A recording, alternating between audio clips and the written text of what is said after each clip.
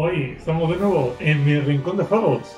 Hoy vamos a hacer una visita nuevamente por Hogwarts para ver efectivamente qué hechizos podemos conseguir realizar. En este caso, con Strike Harry Potter.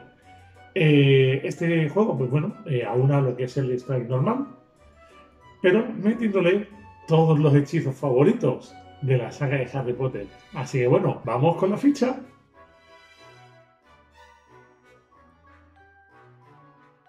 Estos son los componentes que vamos a encontrar en Harry Potter eh, Strike, el juego de dados.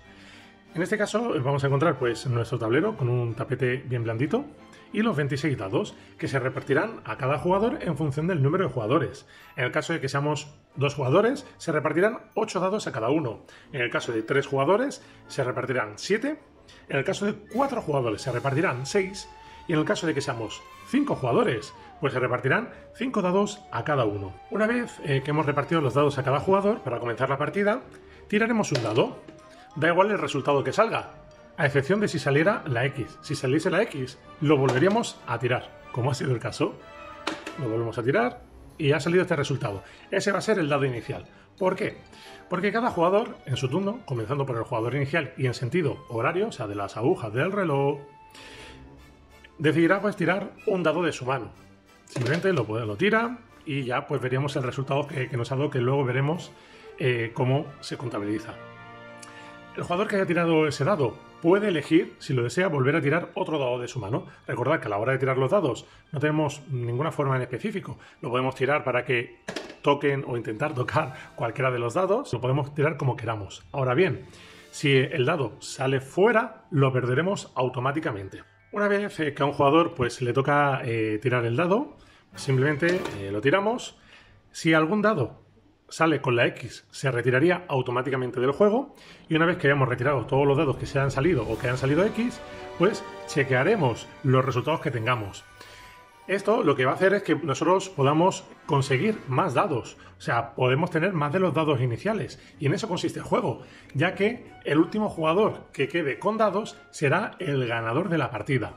Así que a medida que los jugadores se vayan quedando sin dados en la mano, irán siendo eliminados uno tras otro. Y ahora, una vez que ya sabemos cómo se juega, vamos a ver qué efecto hacen cada una de las caras de los dados. Muy bien, vamos a ver ahora cómo sería la acción de Immobilus. Pues tenemos aquí este resultado, que nos han aparecido pues dos dados Inmobilus de los que hemos tirado. Eh, en este caso, estos dados, aunque tengan el mismo símbolo, no los podremos coger. Quedan, como ya dice Álvaro, inmovilizados. En este caso, como vemos, como no tenemos ninguna otra pareja, pues aquí habremos perdido el dado y no podremos coger nada nuevo. Ahora bien, si en algún momento pues se repite algún otro símbolo, en este caso pues tenemos las dos eh, plumas de color morado, estos sí que los podremos coger. Ojo, no se aplican las reglas de su hechizo. Simplemente cogemos los dados y nos los llevamos a nuestra reserva.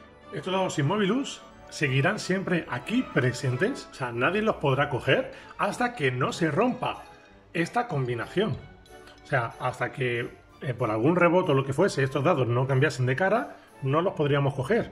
Y todo el que siga con la cara de, del Immobilus seguirá siempre allí presente. Ahora vamos a ver la opción de Relation. Hemos tirado el dado y ha salido pues esta combinación de esta especie de, candados eh, de color naranja rotos. Eh, cuando nos sale esta formación, todos los jugadores, a excepción del que, del que ha tirado, de al dado, tirarán un dado al centro. Y una vez que todos hayan tirado, el jugador, que es su turno, cogerá todas las combinaciones de dados que haya. Mínimo que sean una combinación de dos dados iguales, claro. Eso sí, tenemos que tener en cuenta que todas esas combinaciones que salgan a partir de toda esa estampida de dados que se han tirado no van a activar ningún efecto adicional. Ahora vamos a ver la acción de Axio.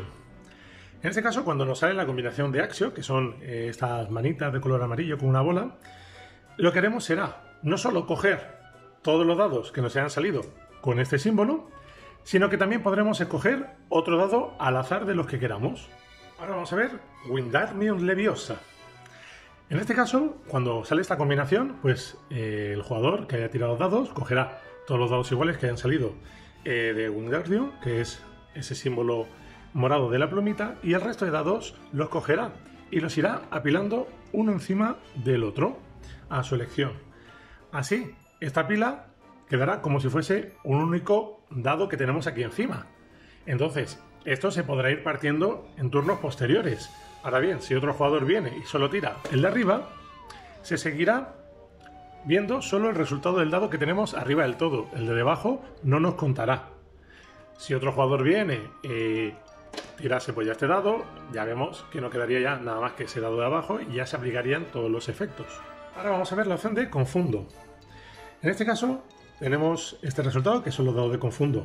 Aquí lo que haríamos sería que el jugador que lo haya tirado simplemente coge los dados y se invertiría el orden de turno. Así que en vez de ir en sentido horario, si es el que estamos llevando, llevaremos ahora el sentido antihorario, o sea, en contra de las manecillas del reloj. Si volviese a crearse una combinación de confundo, pues volvería a cambiar a la normalidad.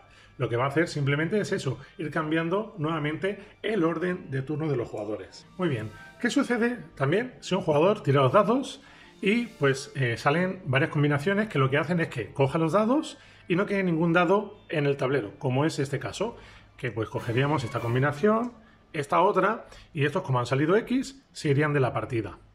Pues en este caso, el siguiente jugador lo que tendrá que hacer es tirar todos los dados que tenga en la mano. Entonces, aquí una vez que haya tirado los dados, aquí hemos tenido muy mala suerte, pues si este fuese el caso, ese jugador se habría ya quedado sin dados y perdería ya esa partida. Porque aquí, pues como vemos, han salido 4X que se irían fuera y no ha salido ninguna combinación. Entonces, tener siempre pues, mucho cuidado o intentar efectivamente conseguir que no quede ni un solo dado dentro del tablero, porque así obligaréis a vuestros oponentes a tener que tirar todos los dados y lo que va a provocar es que puedan perder una mayor cantidad de dados. Y como dije antes, una vez eh, que ya no le queden dados a ningún jugador nada más que a uno, ese será el ganador de la partida. Bueno, ya podemos ver de lo que hemos sido capaces de hacer en este juego, así que bueno, espero que os haya gustado el vídeo, no olvidéis eh, suscribiros, darle a me gusta como siempre, la campanita y bueno, eh, pues nos vemos en el próximo vídeo. Así que bueno, hasta la próxima. Adiós.